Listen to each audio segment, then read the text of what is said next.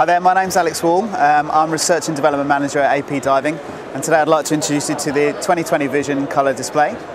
Uh, this is a new product for us. It uh, replaces the monochrome display we've had for many years. It's a 2.8 inch LCD uh, display, full colour, with IPS technology. Um, it's very bright, very vivid, very good um, viewing angle, um, and this replaces the monochrome display we had.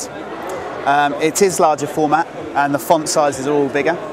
Um, it also has conditional colouring. So green is good for the batteries you can see here. Um, red is bad and we have an intermediate state for yellow.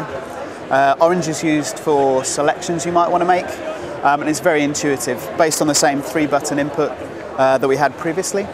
Um, it also is, although it's 41% larger, the display, the housing itself is 40% smaller. So we managed to package it in a much tidier, smaller package.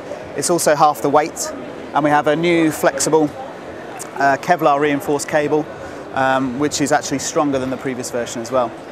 Um, there's other benefits, it has Bluetooth connectivity so you no longer have to strip the unit down to actually download or upload new code. Um, it also has customizable displays so you don't have to just use the color format we have now.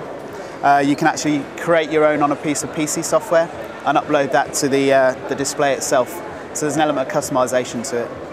It's also got uh, a, memory that's 500 times bigger than the previous unit, um, so you can store a lot more dives and it gives us the ability to improve logging in the future.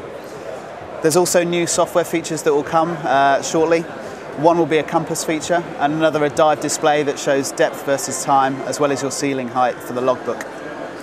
If you'd like to find out more, please go to our website. It's www.apdiving.com.